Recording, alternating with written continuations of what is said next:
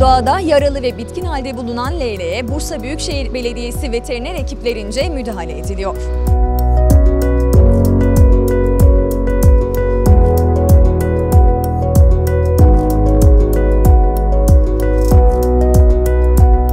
Müdahalesi yapılan leylek Bursa Büyükşehir Belediyesi veteriner ekiplerince sokak hayvanları tedavi merkezine getirildi. Vatandaşlar tarafından arandık. Biz de hemen e, alana ihbar üzerine bölgeye intikal ettik. Leyleğimizin camiden aşağı düşmüş şekilde gördük. Biz de gereken tedavi yapmak için leyleğimizi alıp buraya e, kliniğimize getirip ilk tedavisini yaptık.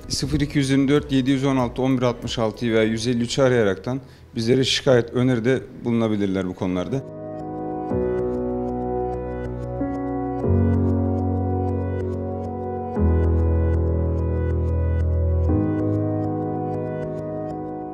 Hayvanat Bahçesi Şube Müdürlüğü'ne ekiplerce getirilen leylek gerekli bakımları ve tedavisi yapıldıktan sonra doğaya salınacak.